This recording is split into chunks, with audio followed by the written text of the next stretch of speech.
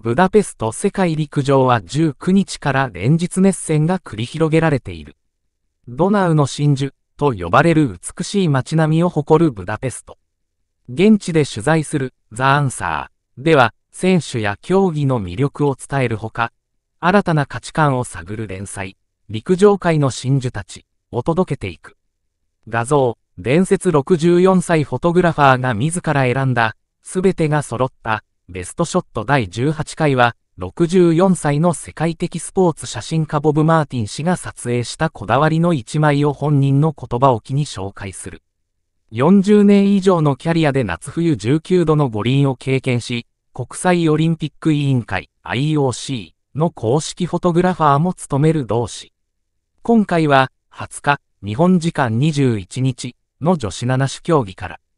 最終種目の800メートルを走り終えた優勝選手と銀メダル選手が健闘を称え合い、海外から称賛されていた瞬間を捉えた一枚とは。取材、文イコールザアンサー編集部、浜田洋平、鉾久正宏、ライバルがどれだけ過酷な道のりを歩んできたのか。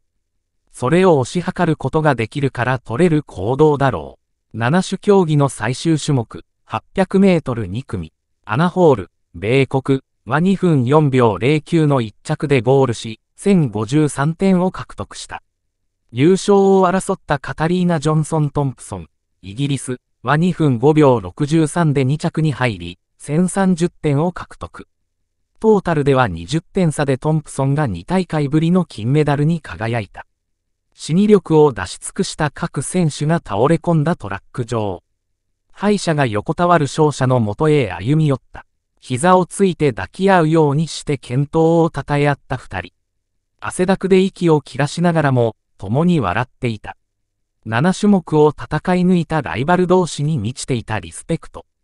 フィールドレベルの高さから撮影したマーティン氏は、この一枚について解説した。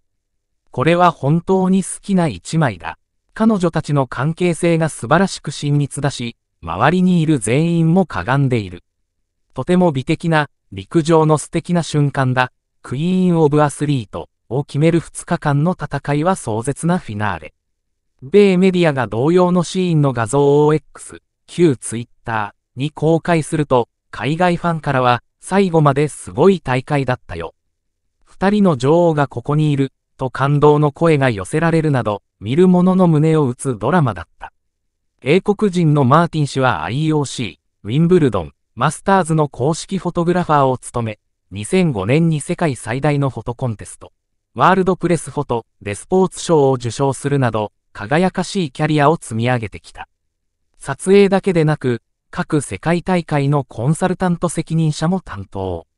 技術と経験をもとに撮影位置、設備の助言を送り、写真でスポーツの熱狂を世界に届けてきた。